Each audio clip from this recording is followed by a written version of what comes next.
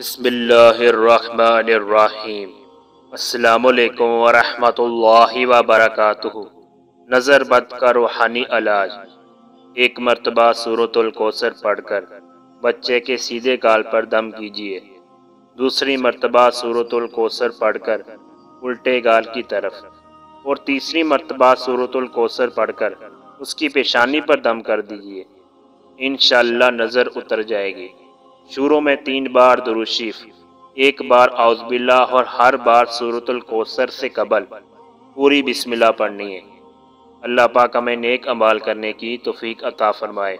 مزید ایسی ویڈیو دیکھنے کے لیے ہمارے چینل کو سبسکرائب کریں۔